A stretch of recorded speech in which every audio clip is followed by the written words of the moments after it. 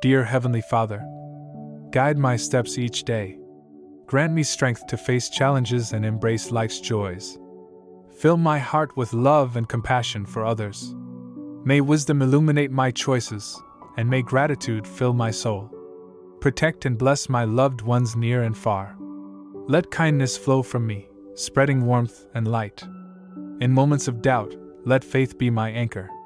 Grant me peace, and may my journey be filled with purpose and grace. Amen.